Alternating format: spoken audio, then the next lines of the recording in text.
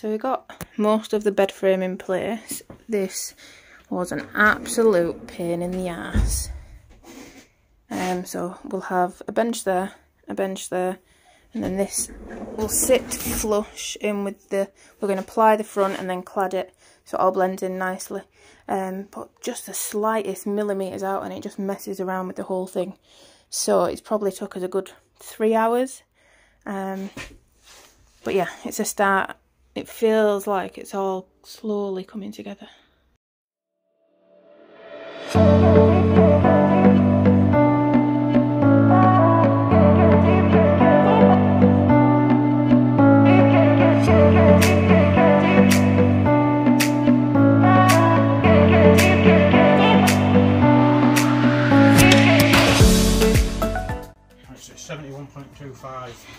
Okay. So the plan for tonight is just to get the front of the bed frame on, um, hopefully get a cupboard in this area, and try build a bench. Um, we're not really what sure, sure what approach we're going to take just yet, but I'm sure we'll find a way.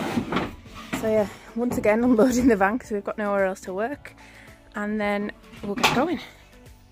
So we've just measured out the gap in the front of the bed that hopefully the desk will then pull out of. Um, so it took a few goes to decide where exactly where we needed it, but fingers crossed get the jigsaw on and then yeah, we'll give it a go.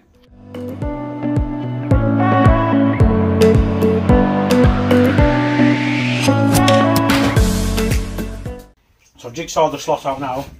A bit glue around here because I've got to cut out for the hinges on either side. But this is going to be faced off with cladding, so it's irrelevant anyway. But you've all seen it before. It's just a slidey out table. That'll sit in there flush once the cladding's on, hide all its nastiness. We'll be good to go.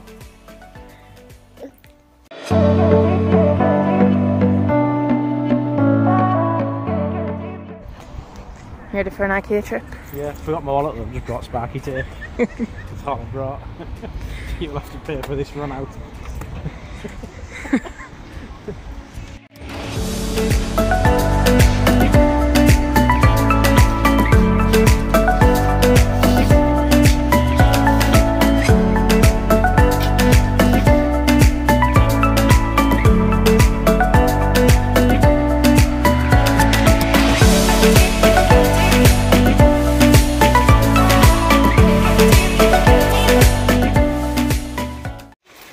frustrating thing about having nowhere to work is that every time the rain comes down, everything just comes to a stop.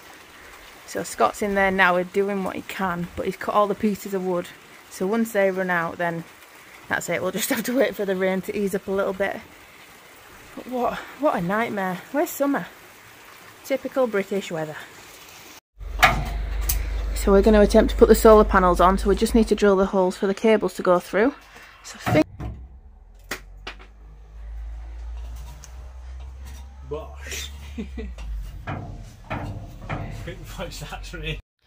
A bit of rust proofing to make sure that it's all sealed properly. No rusting will happen. Ah, uh, in theory.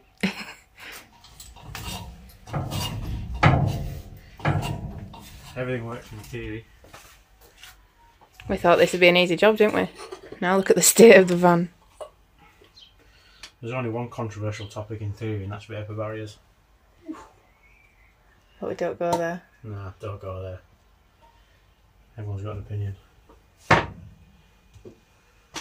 So what we did to get the roof fan sort of template done is draw around it in a cardboard box first rather than going straight in for the kill with um, the fan itself. Yeah, draw on the template around the cardboard box. We're going to then template that up onto the ceiling or the roof, whatever you call it. Um, and then Scott's going to go from the top, drill down, and we can get the square cut out. Hopefully the rain will ease off for a few more hours, but it's all just a bit hit and miss at the minute. Hi boy.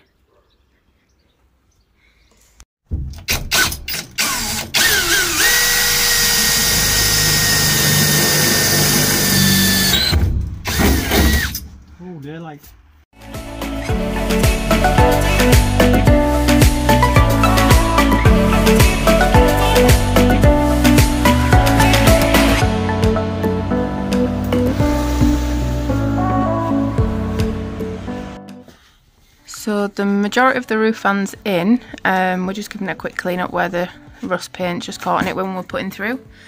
So how did you install it? Well, templated out on cardboard first. Transferred that onto the roof, drilled all four corners and get the jigsaw blade in. Bought a new metal jigsaw blade rather than using an old tatty wood one. Cut it through. Rust proof the edge of the bare metal where we cut through. Put the fan through. Use some of this mastic tape there it is. That apparently forms a seal. We'll see. But I didn't trust that fully so I've also use some uh, marine grade sealer as well. Uh, so if this leaks I'll be a bit disappointed. And then we've sealed both the outside and the inside just for better protection. But yeah, we're just giving it a quick clean up now. Then we're going to get it covered from the top just in case it decides to rain again. And then we just need to add the little knobbly attachments. It comes with a remote as well, which is ideal. And it's also rain sensor proof. Rain sensor proof? Whatever that means. It's got a rain sensor. It's got a rain sensor. It'll close automatically if it's raining. But it won't matter if it's not sealing properly anyway, so yeah. I think the final test, well the main test will be tonight if it absolutely pours it down. If it works, I'll be throwing a bin bag over it tonight. We might come into a wet van in the morning. 24 hours to cure. yeah, we've got quite a lot done today. We've got these walls all plied, insulated, vapour barriered on both sides. We've got the fan in and we've just made a bit of a mess really.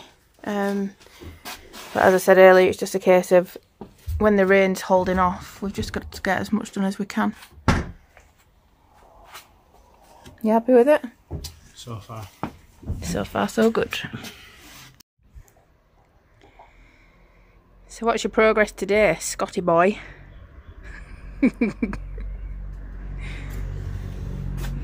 Other than making a mess. Wiring. Labelled the wiring up. Fan. Tested the fan. Fan's working. As you can see, we've added a LED light strip to test as well. It's working. So now we know everything's working. We're going to clad all this, box it all in, insulation, etc. etc. etc, etc. Done. Done. Let's go. Insulating the ceiling, then we're going to vapour barrier that, get the rest of the cladding up, and then we can cut holes for where the lights are going, the LED strips, maybe some speakers. Bluetooth speakers. We'll see. Right. So what we've done so far today is 80, 85, 90% of the ceiling. Two spotlights in. There's two more spotlights to go in around here and here, just so they line up. They're going to be able to be switched individually. So if we just want these ones on or them ones on, we can do that. Didn't want them all on, just in case on a night we only want a couple of them on. But we've run out of cladding, so now what we're going to do is we've put this board in. Uh, we're going to back one of our kitchen units onto that. Uh, we're going to get that in, and then that's going to give us an idea of how much room we're going to have to build the bulkhead. The bulkhead's only going to be coming up to here. We want this space open. We're going to uh, face all this off, cover doors on there. We want this open because when we're travelling, we're going to be travelling with Dave, and we want to be able to see and hear Dave in the back, and also we can put the windows out here, get some cold airflow, airflow coming through as well. So stick a time lapse on, and uh, let's start on this kitchen.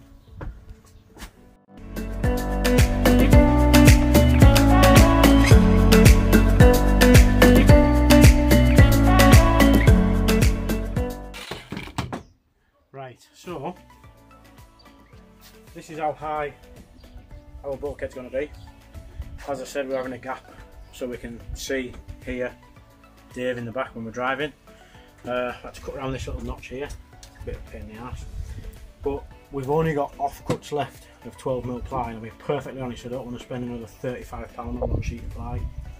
So, built this little frame, going to add a few more of these cross members, and then we're just going to do patchwork bulkhead. You're not going to see most of it, most of it's going to be covered by our other unit, and the bit that's not covered by the other unit is going to be tiled. We have like a splashback L-shaped tile thing going on. So yeah, let's get cracking. Right, we've done all the other ones the other way. We're swinging this one round simply because we're, we're using offcuts of 12 mil. So if we do it this way, we've got 44 mil. We could do 22 that way, 22 the other way. If our ply come up to, don't have any. This is 12 mil ply. So we'll be able to do a bit from there to say halfway there, and from halfway there to the top with our offcuts. Ah, It's all fun and games. the cost of wood is ridiculous.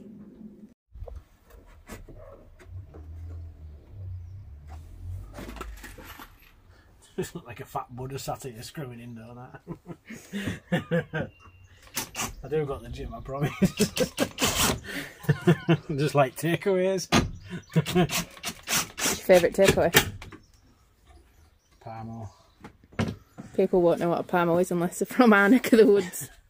I say, say our neck, your neck, not mine. What's a Parmo, Scott? Chicken and cheese. Grilled with any toppings.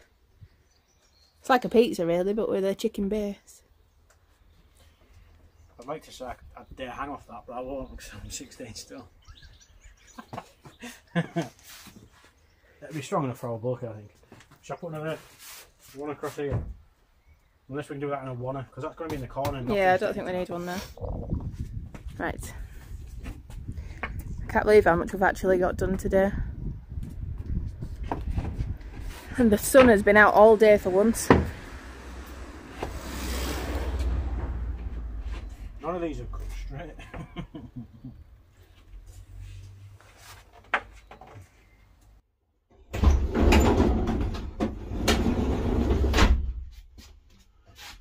Right, today's been a, a busy one. We wanted to get the ceiling finished and all four spotlights in. We wanted to get some overhead storage done. We didn't manage to get that done. Wanted to get half the kitchen built, which we did. We didn't plan on doing the bulkhead, but we've done the majority of the bulkhead so far. Uh, so yeah, it's been a productive day. We didn't get done everything we wanted to get done, but we've got done other things. So that's it for today. I'll uh, I'll show you exactly what we've got done now. We managed to clad most of the ceiling, but we run out. We have put uh, two LED spots in, and they're working perfect. The wires look a mess, but they need tidying up. Once we get the cladding down here, the switches will go in there. This is half of the kitchen. It's pretty big to be fair. Probably too big for a van, but we're gonna have loads of storage in here. We might end up putting uh, sliders that come out in like the tin slider storage. We got the bulkhead. What we wanted to do, uh, going to be tiling across here once the other units go in. Some doors on there for overhead storage. We'll be able to see through there. I might put some sliders on there with tinted perspex or something. Or it might just be a wood slider. I'm not too sure. We haven't decided yet. But that's what we've got done today. We're to have a day off tomorrow and we'll be back at it on Sunday.